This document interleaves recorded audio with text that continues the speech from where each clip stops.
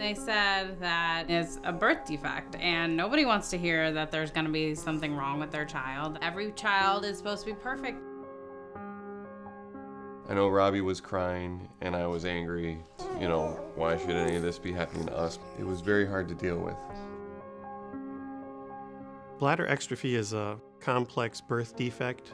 When this child is born, the bladder is opened on the surface of their abdomen.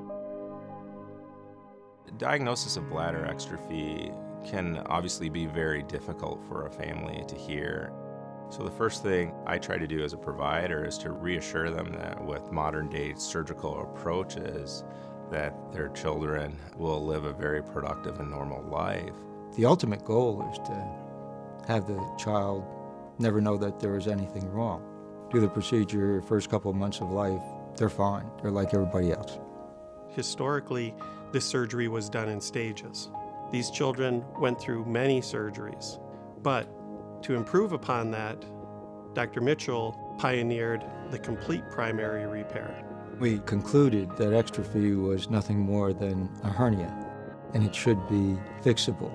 We could put these kids together, one operation, and get it to work.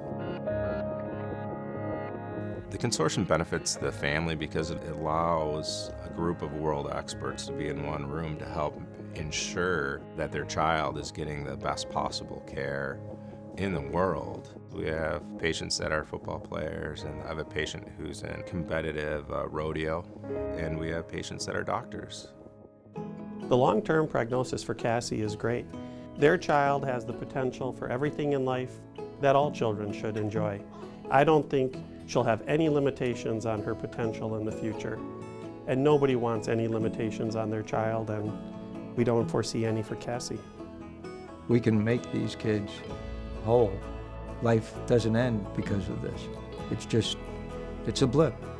It's amazing to think of how far we've come since then. That first diagnosis was, I mean, it was heart wrenching to find out that something is wrong. But now it's it's amazing. It's like having this beautiful, healthy little girl around who is active and smiling and, you know, just loving life. And we love that about her.